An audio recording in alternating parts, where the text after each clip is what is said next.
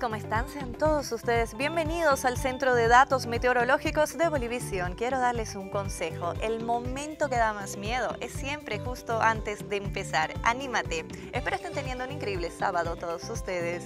Por favor, tengan en cuenta las alertas de prioridad naranja meteorológicas por lluvias y tormentas eléctricas moderadas a temporalmente fuertes, afectando a los departamentos de Tarija, Chuquisaca, Santa Cruz, Cochabamba, Beni y La Paz y también por pronóstico de vientos moderados a ocasionalmente fuertes, afectando a los departamentos de Santa Cruz, Tarija y Chuquisaca, ambas zonas hasta mañana. Ahora sí, acompáñame a conocer cuáles serán los datos del tiempo para el día de mañana. Arrancamos con el eje troncal. La ciudad de La Paz amanecerá con tormentas eléctricas, tome sus previsiones. La temperatura mínima será de 2 y una máxima de 9 grados. Cochabamba tendrá lluvias, la temperatura mínima será de 11 y una máxima de 18 grados. Santa Cruz, cielo totalmente nublado, la temperatura mínima será de 22 y una máxima de 32 grados.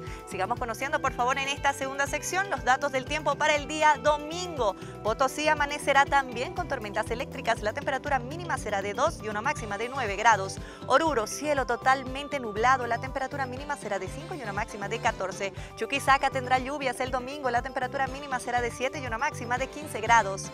Sigamos conociendo en el resto de los departamentos del país. Vamos en esta tercera sección. Pando, la temperatura mínima será de 21 y una máxima de 30, al igual que en el Beni, con una mínima que será de 22. Tarija, la temperatura mínima será de 12 y una máxima de 20 grados. En esta parte del país también tendremos tormentas eléctricas. Amigos, vacunarse es un acto solidario para protegernos a nosotros mismos y a los demás. Evita el contagio y la propagación del COVID-19. Ahora sí los dejo con los datos extendidos y los invitamos a seguir disfrutando de toda nuestra programación.